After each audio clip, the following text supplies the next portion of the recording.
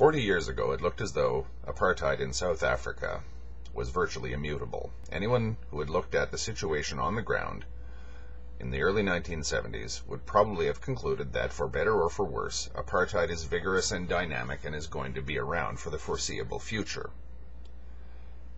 This man changed that. Although there are others who deserve almost equal credit to him, he has become sort of the spokesperson for the negotiation process that actually dismantled apartheid in South Africa. He could not have done that if he had negated the white South Africans. He had to sit down and negotiate with them, and he had to make it worth their while to negotiate with him.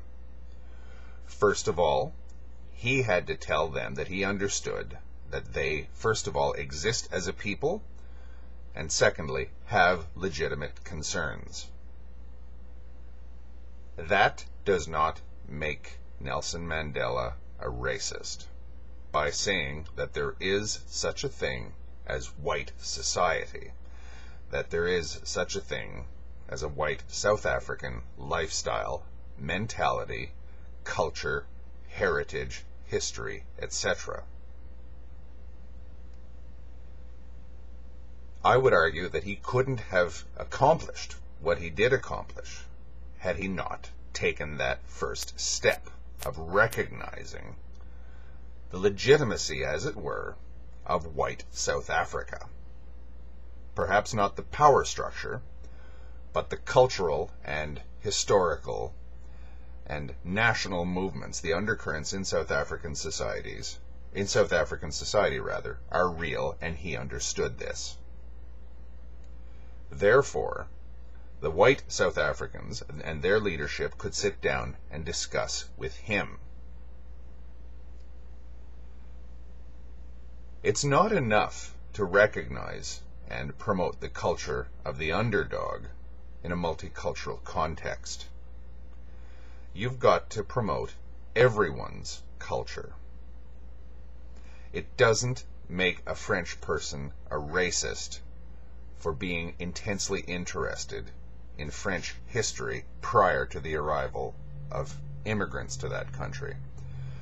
It doesn't make an American a racist for being interested in the political struggles of the Confederate States of America.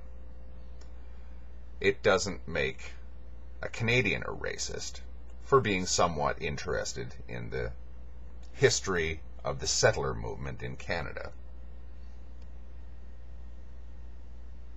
It doesn't make you a racist by saying that for all practical purposes, white society in European dominated countries is something that exists.